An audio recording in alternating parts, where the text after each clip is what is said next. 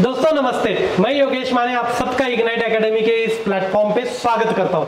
दोस्तों, हमारे में से बहुत सारे लोगों का सपना होता है कि हमें आईआईटीज में जाना है आईआईटीज के साथ जॉब करना है या आईआईटीज में जॉब करना है राइट तो दोस्तों, ऐसी ये एक अच्छी सी अपॉर्चुनिटी आ चुकी है डिप्लोमा वालों के लिए, उसके बाद में आईटीआई वालों के लिए या बीएससी वगैरह वालों के लिए ये वैकेंसीज है। वैकेंसीज किस चीज़ की है? तो ये सपोर्टिंग स्टाफ की वैकेंसीज है आईआईटी के अंदर। परमानेंट जॉब है, अच्छी खासी सैलरी देता है। आईआईटी सेंट्रल गवर्नमेंट की ऑर्गेनाइजेशन है। आईआईटी खड़गपुर इंडिया की सबसे पहली आईआईटी है राइट और मेरी कोशिश रहेगी कि सब लोगों के लिए जो जॉब्स की अपॉर्चुनिटी आए, आप सबके सामने लेके आओ। इसीलिए आपको इग्नाइट एजुकेशन का हमारा जो प्लेटफॉर्म है, उसको सब्सक्राइब करके रखना है, क्योंकि आने वाली सभी जॉब की इंफॉर्मेशन आपको यहाँ मिले। ऐसे ना हो कि मुझे जॉब पता नहीं था इसीलिए मेरी अपॉर्चुनिटी चली गई है। तो ओके तो चलो देखते हैं पूरे एडवर्टाइजमेंट को। दोस्तों इस एडवर्टाइजमेंट में कौन कौन सी वैकेंसी है? देखिए जूनियर एग्जीक्यूटिव की 19 वैकेंसी है जूनियर अकाउंट ऑफिसर की पाँच वैकेंसीज है जूनियर टेक्निकल सुप्रीडेंट की 30 वैकेंसीज है जूनियर इंजीनियर की 22 वैकेंसीज है मेडिकल लेबोरेटरी टेक्नीशियन की एक है न, स्टाफ नर्स की 12 है सीनियर लाइब्रेरी इंफॉर्मेशन असिस्टेंट की दो है फ़िज़िकल ट्रेनिंग इंस्ट्रक्टर की पाँच है असिस्टेंट सिक्योरिटी ऑफिसर टू की तीन है, उसके बाद में जूनियर असिस्टेंट की ट्वेंटी है junior technician junior laboratory assistant twenty three है सिक्योरिटी इंस्पेक्टर फाइव वैकेंसीज है, और ड्राइवर ग्रेड सिक्स वैकेंसीज है राइट सपोर्टिंग स्टाफ है पूरा। तो चलिए जूनियर एग्जीक्यूटिव के लिए पे लेवल सिक्स है, अच्छी खासी सैलरी फिफ्टी थाउज़ेंड के ऊपर आपके हैंड में आनी है। उसके बाद में bachelor degree in any discipline with three years of relevant experience okay अब इन्होंने मेंशन नहीं किया कि किस फ़ील्ड के अंदर चाहिए। मगर देखो कंप्यूटर नॉलेज कंपलसरी होना चाहिए, ये बता दिया है। और कंप्यूटर से रिलेटेड आपका एक्सपीरियंस हो तो आप ज़रूर अप्लाई करिए। उसके बाद एज लिमिट थर्टी है। उसके बाद में junior account officer junior account officer के लिए आपकी कॉमर्स की डिग्री होना मतलब आपका बैचलर इन कॉमर्स और बीबीए होना और एमबीए होना कंपलसरी है राइट उसके साल में, उसी के साथ आपका अकाउंट का तीन साल का एक्सपीरियंस होना ज़रूरी है। पे लेवल सिक्स में आपको सैलरी मिलेगी, अच्छी सैलरी है। थर्टी का एज लिमिट है। जूनियर टेक्निक टेक्निकल सुप्रीडेंट उसके लिए diploma in engineering of three year duration in appropriate field BSc और equivalent degree in appropriate field with three years relevant experience अब देखिए, इन्होंने इसके आगे डिटेल्स मेंशन नहीं किए हैं राइट किस फ़ील्ड से रिलेटेड आपको डिप्लोमा चाहिए? तो सब लोग अपना अपना अप्लाई कर सकते हो, क्योंकि हर एक से रिलेटेड होगा, हर डिपार्टमेंट के लिए उनकी रिक्वायरमेंट होगी तो सबके लिए हो सकता है कि मौका मिले आपको आगे जाने का। ओके एज लिमिट थर्टी है।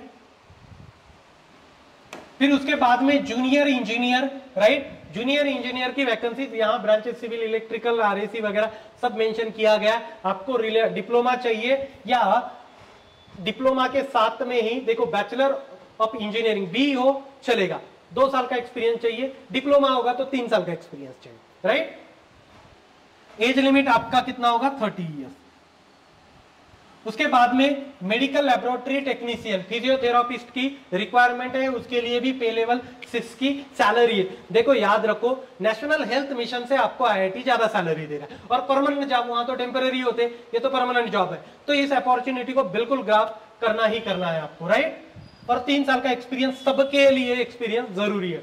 उसके बाद में एज लिमिट थर्टी का है। स्टाफ नर्स आपका नर्सिंग का कोर्स होना ज़रूरी है। उसके साथ तीन साल का एक्सपीरियंस और पे लेवल सिक्स है। आपकी सैलरी भी अच्छी खासी बनेगी। उसके बाद में senior laboratory library assistant okay bachelor degree in library science compulsory होना ज़रूरी है। तीन साल का एक्सपीरियंस चाहिए। लेवल सिक्स का। पे स्केल है थर्टी एज लिमिट है। ओके डिजायरेबल क्या है एक चीज़? One year certificate in computer application from recognise institute और इक्वल ये डिजायरेबल है मैंडेटरी नहीं है। जब आपकी सिलेक्शन की बारी आएगी तो इस सर्टिफिकेशन का आपको यूज़ होगा। फिर उसके बाद में physical training instructor right bachelor degree in physical education with three years experience pay level six है एज लिमिट थर्टी का उसके बाद में असिस्टेंट सिक्योरिटी ऑफिसर उसके लिए भी पे लेवल सिक्स है। Bachelor degree with minimum three years of relevant experience right age limit thirty year का है। जूनियर असिस्टेंट यहाँ देखो जूनियर असिस्टेंट में लेवल थ्री पे अब सैलरी आ गई। अभी तक लेवल सिक्स की सैलरी थी। Bachelor degree with three years duration with knowledge of computer office application like M S Word M S Excel वगैरह कंप्यूटर नॉलेज होना ज़रूरी है। फिर उसके बाद आपका typing speed 35 word per minute generally होता ही है। एज लिमिट 25 का है।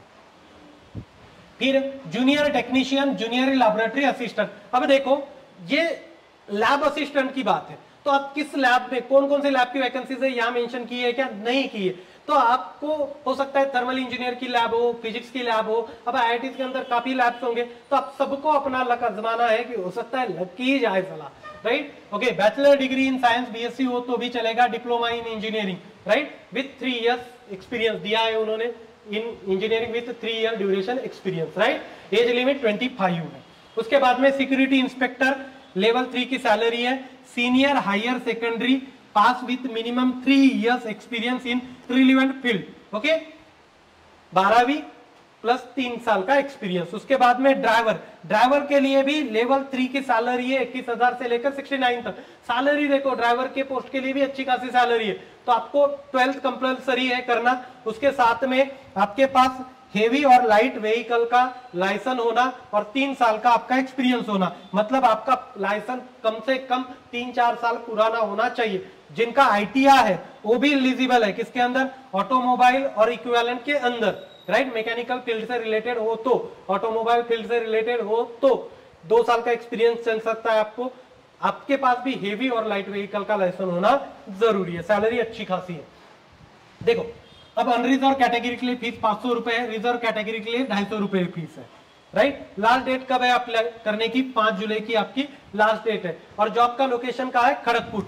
ओके जो उस बेल्ट के सभी लोग है ना वेस्ट बंगाल के हैं बिहार के लोग हैं, कुछ झारखंड के, वो तो अप्लाई कर ही सकते राइट देखो, कोशिश करनी है, आप एजुकेशन क्वालिफिकेशन के अंदर जा रहे हो आईआईटी सेंट्रल गवर्नमेंट की जॉब है, सेंट्रल गवर्नमेंट सैलरी करेगा, सैलरी अच्छी खासी, टीए, डीए सब बढ़ते रहता है। तो सैलरी की चिंता करनी नहीं है, आपके एजुकेशनल क्वालिफिकेशन के हिसाब से चल, लगता है आपको कि नहीं यार, इस जॉब के लिए ही मेरा एजुकेशन क्वालिफिकेशन ट्वेल्थ ही हो चुका, आगे है ही नहीं, और मुझे जॉब चाहिए तो अप्लाई कर सकते हो राइट तो आगे जो आने वाले वैकेंसीज है, उनके लिए पता करना है तो हमारे चैनल को सब्सक्राइब करना मत भूलिए। सब जॉब आपके सामने लेके आऊँगा तो ऐसा कभी लगेगा नहीं आपको कि मुझे पता नहीं था, इसलिए मेरी अपॉर्चुनिटी चली गई। राइट ये बहुत बुरा फील करवाता है लास्ट में। वैकेंसीज आई भी थी, चली भी गई डेट और मुझे पता ही नहीं था। इसीलिए इग्नाइट का इग्नाइट एजुकेशन का प्लेटफॉर्म सब्सक्राइब करके रखिए, और हम लोगों के साथ बने रहिए। पूरा आपको जॉब अलर्ट करवाते रहेंगे। Right thank you so much guys for listening thank you so much